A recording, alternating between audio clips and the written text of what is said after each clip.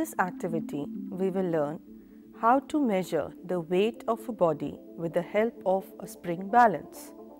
For this activity, we need a spring balance,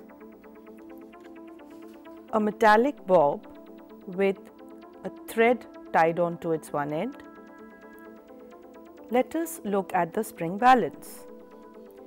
The spring balance has a spring attached to one of its ends and has a fixing hook on its another end. It reads from 0 grams to 250 grams. There are equal number of divisions between the two markings. Now, let us find out how to measure the weight of the metallic bob with the spring balance.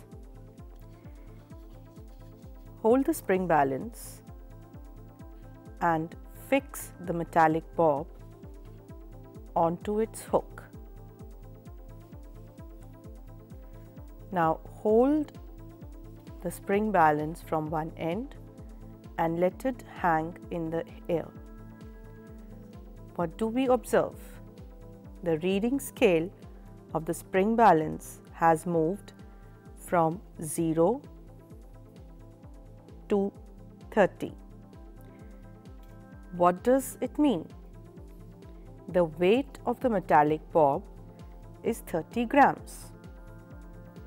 Now, let us take out the metallic bob from the spring balance. Again, the reading moves back to 0. If we put the spring balance again, the reading comes as 30. This is how we can measure the weight of a body with the help of a spring balance.